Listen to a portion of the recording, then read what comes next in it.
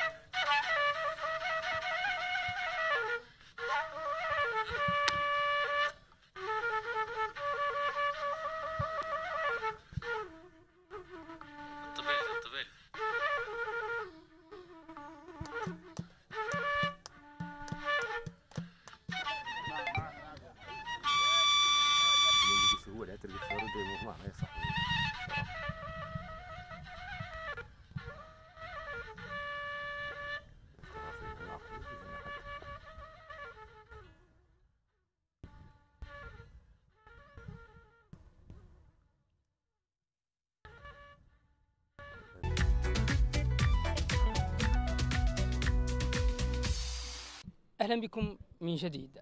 تستعد المدارس في مدينة كيفا لاستقبال الطلاب في العام الدراسي الجديد وذلك بإطلاق جملة من الفعاليات تشمل حملات لتنظيف المدارس وورش لإصلاح الكراسي الدراسية. نتابع.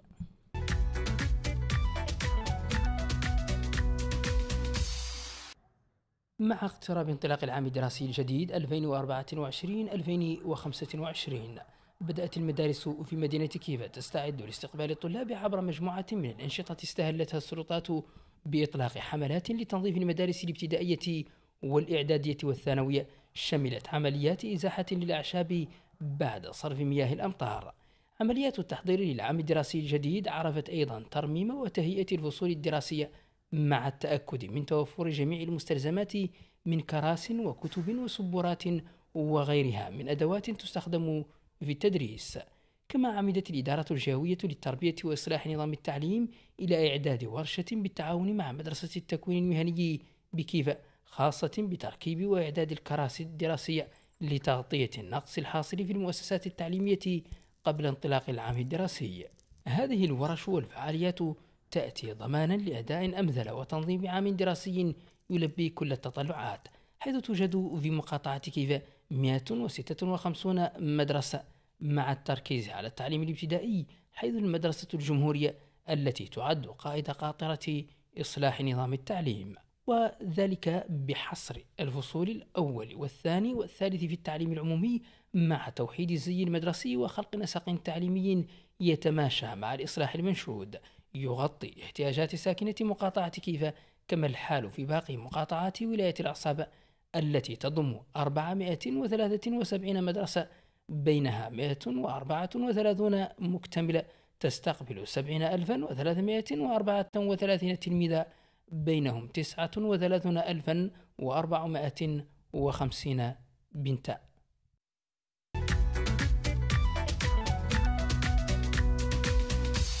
ننتقل وإياكم مشاهدينا الكرام إلى ولاية البراكنة.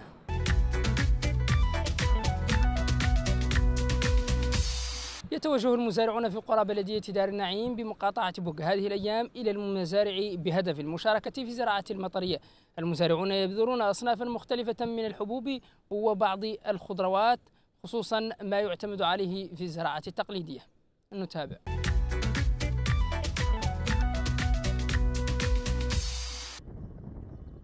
في كل موسم خريف تشهد هذه المساحات الزراعية الواقعة ضواحي بلدية دار العافية نشاطا مكثفا للمزارعين بالتزامن مع التهاطلات المطرية التي شهدت المنطقة خلال الأسابيع الماضية. نحو 400 شخص يمارسون الزراعة المطرية في هذا المشروع الذي تنتج حقوله كل عام كميات معتبرة من الحبوب والمزروعات التقليدية. هاي تعاونية فيها قريب من 400 ما يزايد ما ينقص من الأسر. وفيها الأسر ضعاف. وقطعا الناس تبغي الحرية. المرحلة فيها هون جبار والقشي. زننا بالضوء هون ندار في شين قالوا كركاش وشين قالوا ودلقان وشين قالوا متري وشين قالوا تقليد وشين قالوا ودلقان. جميع الحبوب الحمد لله يجهوناتية يا غير عاد معصرة لهم شين قالوا الهواكش. هذو عفات الزراعة هم العاد معصرين لنا هون وخسروا ياسر. يا بعد الحمد لله ذاك هم اللي المرزوق بالإنسان اللي يراه الحمد لله. الزراعة المطرية في هذه البلدية الزراعية تشكل دعامة رئيسة للاقتصاد الريفي كما تعتبر إحدى ركائز النشاط الفلاحي في هذه المناطق التي تعتمد طوال فصول السنة على مياه الأمطار من جهة وارتفاع منسوب النهر من جهة أخرى. في ظل تحديات بيئية ما زالت تعيق النشاط الزراعي هنا بمختلف أصنافه. فم فم فم تحدي بيئي. آه، مثلا والله زاد تابع للي قالوا التغيرات المناخية به اللي كيف تعرفوا. الخريف ضريك إلا ما محكم في شيء ما عاد يتقاعس حتى. كانت فم توقعات إنه بالنسبة لهي السنة اللي يجي عجلان غير عقب ذاك ما خلي. إحنا ذا هو ان لأن تقريبا شهر بداية الخريف والناس هي اللي يمكن سنتات سنتات تحلف. غير بعد لباس اللي شبه من اللي سنين كيف؟ قلت من ذوك سنوات العجاب وراجين عن السنة عنها تعود تعود شبه بلدية على مستواها آه، مشرعة مشرعة فوريارات في بليدات معينة. شيء في نقولوا له إحنا الذراع جيري. وشي في في, في, في, شمامة. اللي إيش تعود إنها يحصل بها ردع لأهل الحيوان وهياك انه ما تلاقوا يسيبوا حيوانهم ايا ما كان. ويتطلع المزارعون في هذه الناحية من ولاية البراكنة إلى هطول المزيد من الأمطار خلال الأيام القادمة حتى يتمكنوا من مضاعفة الإنتاج وتنويع المحصول الزراعي هذه السنة. عبد الودود السدنة لبرنامج الموريتانية من الداخل من بلدية دار العافية.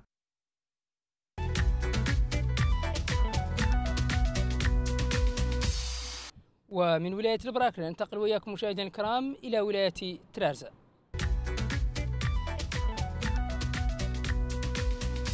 احتضنت قرية مبلال ندوة ثقافية لصالون الولي محمدا ولا محمودا الثقافية الندوة تناولت في محورها الأول أهمية المحافظة على البيئة بينما ركزت في محورها الثاني على تأبين عميد الأسرة التربوية في ولاية ترازة الداه والعليوة رحمه الله تعالى.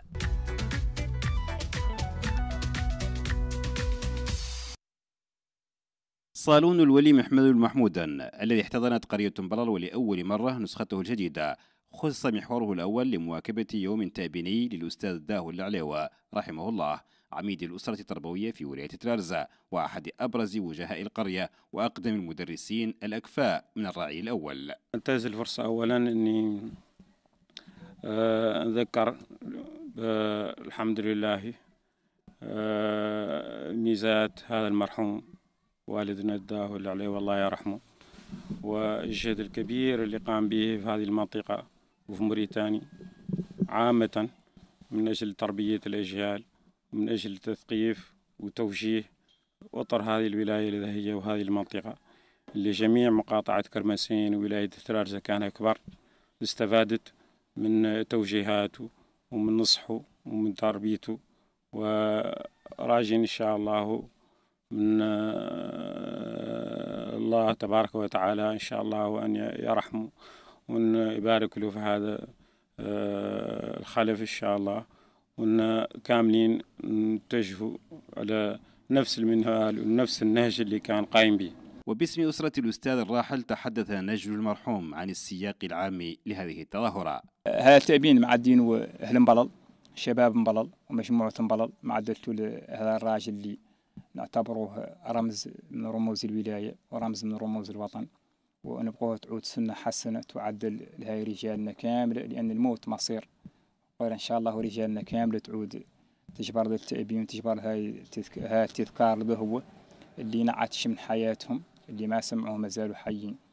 ونعرفوا عن آه، قد العدلنا من الشمال قد نخلصوا هذا الراجل اللي معروف عنه رب الأجيال ونصح وكان دائما حاضر عند الأمور اللي الله يحضر عند الرجال. المحور الثاني من الصالون تناول موضوع البيئة وضرورة المحافظة عليها. في محاضرة قدمها المدير العام للمعهد العالي للتعليم التكنولوجي بروسو محمد دنور محمدي. وعقب عليها أساتذة وأكاديميون من أهل الاختصاص.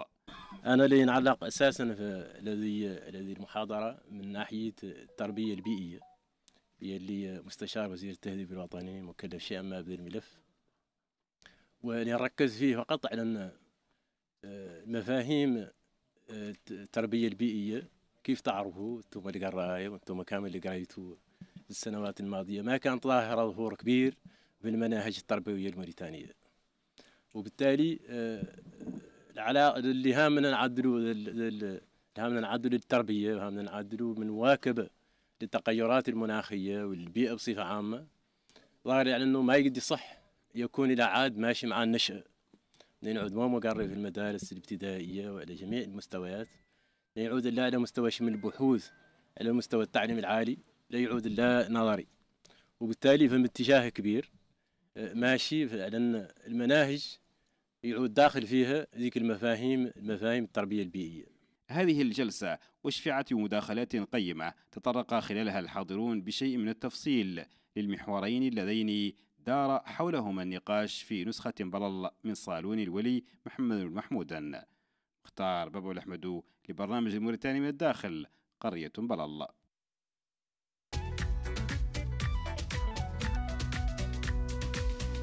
ومن ولاية ترارزا ننتقل وإياكم إلى ولاية غورغول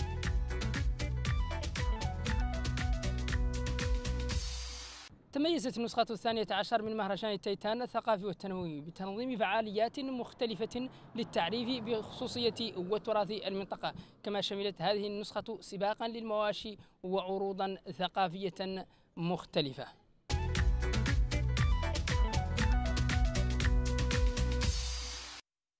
كانت النسخة الثانية عشرة من مهرجان التيتان بولاية غورغول حافلة بالأنشطة والفعاليات المتنوعة.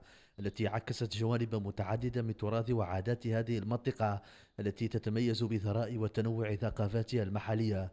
عرض للأزياء والألوان التقليدية في حلته القديمة يعكس تمسك السكان هنا بإحياء التراث ولفت الانتباه إليه من خلال إظهاره للأجيال وتعريفهم بمضامنه وخصوصياته. من أنشطة هذه هذه الأمسية هنا أمسية ثقافية آه، تجسد التراث والموروث تجسد أيضا العادات والتقاليد رأينا فيها آه، أرض أزياء آه، للنساء ورأينا فيها أرض الأواني التقليدية أيضا آه، ورأينا فيها أيضا آه، الخيول آه، كا- هناك سباق الخيول وهناك أرض لسباق الخيول وهناك أيضا أرض أزياء آه، لنساء وهناك أواني تقليدية مثل هذه الأواني التي نشاهدها أمامنا. آه، دائما في مثل هذه المناسبات في مثل هذه المهرجانات دائما آه، تتم عروض لتجديد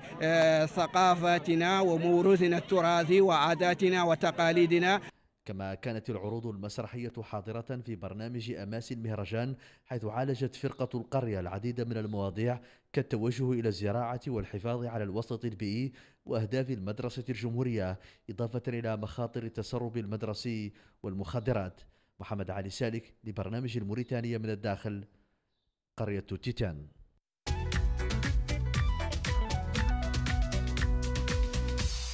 ومن ولاية غورغول ننتقل وإياكم مشاهدينا الكرام إلى ولاية قديماغا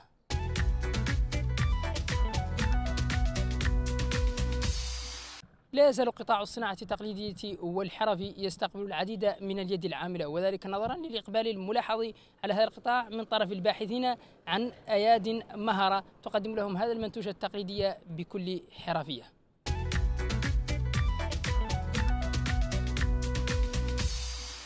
ما هذه الآليات والأدوات المصنوعة بيد وطنية ماهرة وعقل متنور مبدع إلا صورة مصغرة عن إسهام فاطمة بنت عبد المالك في تثمين وترقية الصناعات التقليدية على مستوى مدينة سيدي بابي. بنيات الدرس نقبلهم. ونعدل منهم هذه كل وضاك نعدل له حال منها نقبل شراوط ألوانهم ونعدل منهم أحياض كل ما شاء الله ونعدلهم ونبيعهم ما شاء الله واستفادة منهم ما شاء الله. وهذا هم اللي نعدل منهم الحفاظات تسوي واليدرس نقبلهم اللي نعدل منه آه، شين قالوا الكونتية كانت الناس تقول هي جيبيه الماعين يلتموا فيه. هذا سمعتني ونعدل المصارم واللي نعدل ذا كامل ما شاء الله التقليدي يعدل الصناع التقليدي نعدل وأنا ما شاء الله من ذا كامل الآلات اللي أصلا قاع من القيه ماتت مهم عدل وأنا منها هذا سمعتني مستفادة منه ما شاء الله. مردوديته فتبارك الله وأنا مولي الحمد لله ماني متخلي عنه زين عندي. تراثي زين عندي. تؤكد المرأة المهتمة بشكل كبير بالصناعة التقليدية وترقيتها على الدور الاقتصادي لهذه الأدوات وإسهامها في حفظ وتسويق التراث المحلي. طالبة من العليات كاملين إنهم يرجعوا له وإنهم ما يتخلوا عن تراثهم. ثم لي مهم في البلادات كاملة حد يبقى يشوف أهميته عند هذه الناس؟ أمريكا فيها تشروه من عندنا وتنشفنا فيه والخليج مشتناهم هم اللي يشراوا الجمال هون ومشاوا بهم شاو كبير سمعت ويلا الناس كاملة تعود. مهم عند تراثها ما تخلي عنه. وأنا بعد يلا المسولفات كاملين طالبة منهم يتموا يجون نعلمهم هذاك الصناعة التقليدية ونعلمهم الكرور والسيق وتموا يستفادوا منها وتموا ملي خايلهم التلفونات وخايلهم الشيء ما هم معلوم فيهم. لا تزال الصناعة التقليدية الوطنية تلقى رواجا كبيرا في مختلف الأسواق المحلية والخارجية ما يعزز من دورها في دفع عجلة التنمية الاقتصادية والاجتماعية المحلية. شوقي محمد فالي برنامج الموريتانية من الداخل مدينة سيريبابي.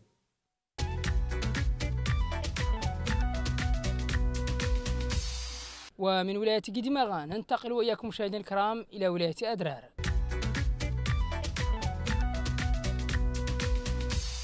يعتبر مفترق الطرق بمدينة أطار رمزا معماريا وثقافيا لساكنة هذه المدينة العريقة. خصوصية هذا المفترق ورمزيته نتابعها في سياق التقرير التالي.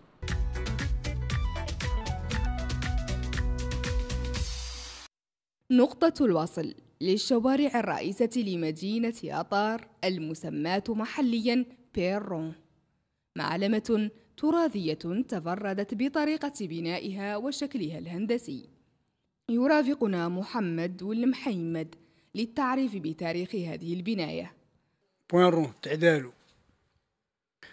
تعدالو لتنظيم سيركيلاسيون يدوروا يدوروا ينظموها وقطعا عنه يدور يعود في عقاب زمن صار.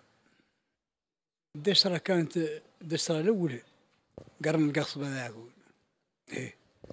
هذا كامل اللي له طاري كامل. قال هو بعد كان في في وسطها كبا هو معدل بعد في عقاب عقاب زمن الاستعمار يعود 59 ولا والله ولا 60 60 قاع خلق الاستقلال. غير بعد حكمان هو اللي ذيك ذيك الآوينة ذيك عبر مراحل بناء نقطة الوصل للشوارع الرئيسة تجسدت حكايات وقصص متعلقة بهذا المكان. حيث كان الناس هنا قديما يعتبرونها مكانا مناسبا لتبادل أطراف الحديث مساء إضافة إلى أنها كانت منطلق الأنشطة والمسابقات. كارفور اللي هو.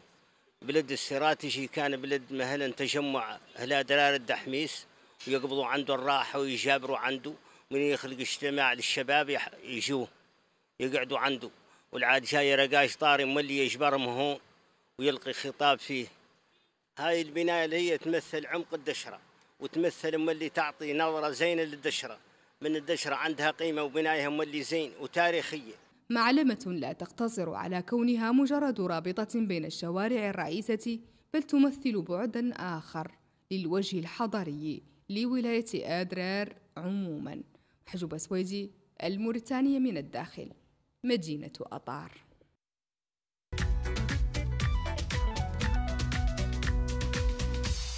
بهذا العنصر مشاهدينا الكرام نكون وإياكم وصلنا لنهاية حلقتنا هذه من برنامج الموريتانيا من الداخل التي قدمناها لكم من مدينة كيفا عاصمة ولاية العصابة. إلى لقاء جديد تقبلوا تحياتي. محمد المصطفى نونو وفريق العمل في أمان الله وحفظه.